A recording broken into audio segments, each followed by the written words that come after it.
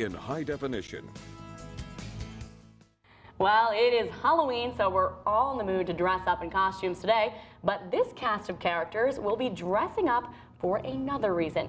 And they'll be dressed like this for a few more weeks. The cast Shrek, Notre Dame High School's fall musical, and their director, Sofia, is with us this morning. They're going to share more about this play. So, Sofia, tell us what it's been like to rehearse this play and get it going in preparation for November 10th 10th and 11th. and 11th. Okay. Yes, uh, it's it's been really amazing. I love directing. I want to go into film production, so this is perfect Very nice. preparation. It's an amazing cast, amazing director, Mr. Cody Riker.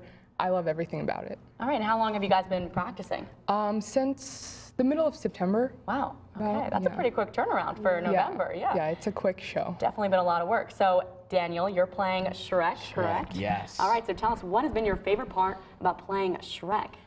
Uh, probably just working with uh, such a talented cast that we have. You know, uh, it's been such a amazing experience, honestly, to to do this show. Yeah. So. And you're playing Donkey, Donkey, Mr. yes. Erik. So Yeah. that's a very funny role, I bet. So, what has been your favorite? It's a musical. So, what's your favorite song to perform? I'm sure you have lots of funny songs. Yeah, there's a song, a travel song actually, where I'm in a, in a scene with Dan.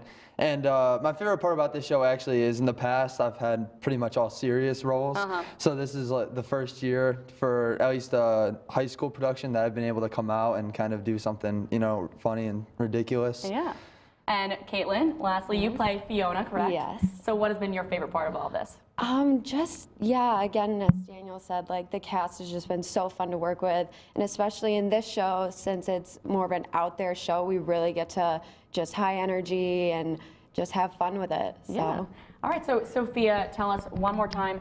It's November 10th and 11th, and how can we get tickets? How can we go? Uh, next week, you can get tickets on Monday, Wednesday, and Thursday from 6 to 8 at the Notre Dame High School Auditorium. okay, thank you so much. And you guys can just use your costumes from the show for Halloween, I bet, right? Yeah. Yeah, you have a free costume for tonight.